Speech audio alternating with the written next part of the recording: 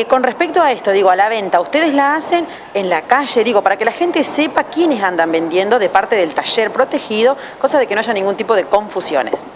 No, nosotros en la calle no. Eh, nos llaman y nosotros les llevamos. Pero en la calle así no andan ni los chicos ni nosotras vendiendo. Eh, así que bueno, nos encargan, nos llaman y les llevamos. Es como delivery, digamos.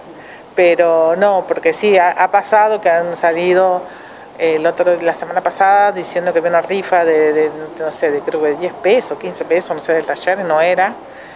Eh, así que no, no, es alguna de nosotras, del personal, o bueno, o vienen acá, eh, se acercan y nosotros los atendemos afuera, digamos, para que eh, lo que necesiten. Pero generalmente toda la gente nos llama y nosotros lo llevamos. Bueno, André, eh, por último, contame cuántos chicos son los que asisten al taller y que ahora ustedes están como acompañándolos de alguna u otra forma. Y son 45. Así que bueno, eh, son unos cuantos.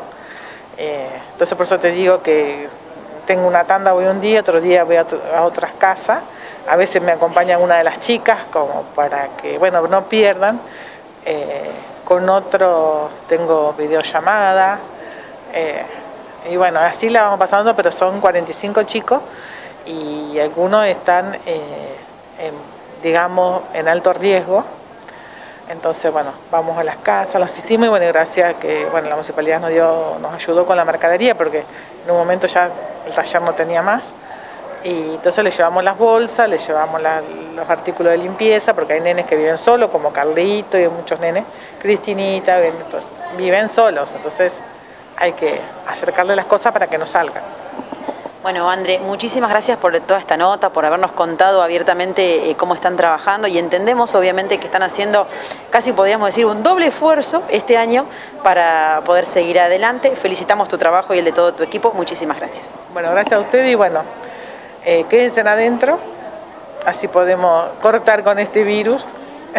Había uno de los nenes que quería salir con un rociador de lavandina a, sacar, a la calle a sacar el virus. Así que bueno, les pido que por favor se queden adentro para poder cuidarnos todos.